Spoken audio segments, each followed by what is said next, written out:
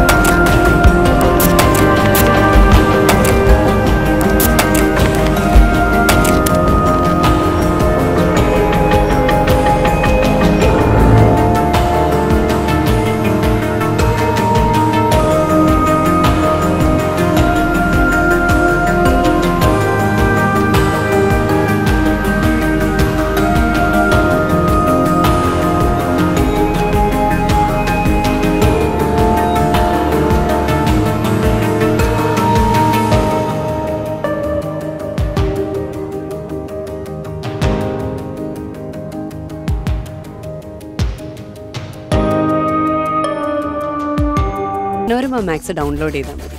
എവിടെ വെച്ച് വേണമെങ്കിലും എപ്പോൾ വേണമെങ്കിലും ഫ്രീ ആയിട്ട് നിങ്ങൾക്ക് കിടിലത്തിന്റെ എല്ലാ എപ്പിസോഡ്സും കാണാം. അപ്പോൾ മറക്കാതെ ഡൗൺലോഡ് ചെയ്യുക മനോരമ മാക്സ്